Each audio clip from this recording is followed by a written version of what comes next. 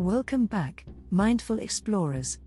It's time for us to take our journey to the great outdoors. In our previous episode, we discovered the profound impact of mindfulness on our lives and brains, and we learned from the story of Buddha how ancient these principles are.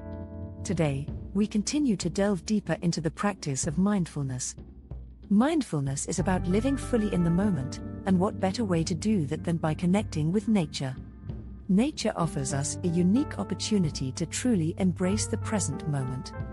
When we bring mindfulness to our experience of nature, we can deepen our connection to the world around us. We begin to notice the rustle of the leaves, the chirping of the birds, the smell of the earth, things that we often overlook. Let's try a mindfulness practice together. Close your eyes, take a deep breath, and try to identify the sounds around you.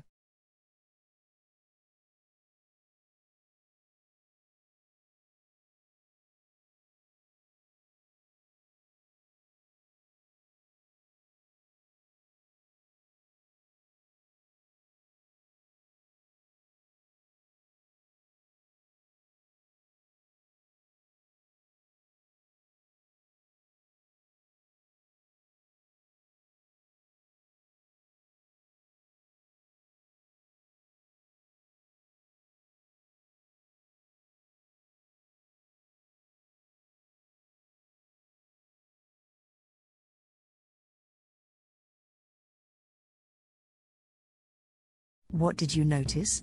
Remember, there's no right or wrong answer. This practice is about observing, not judging. As you can see, you can practice mindfulness in any natural setting. It's about connecting with the beauty of the present moment.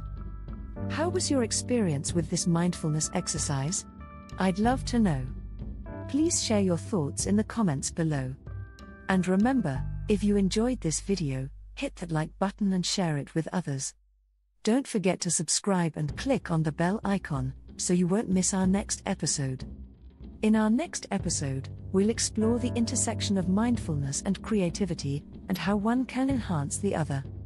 Stay tuned, mindful explorers.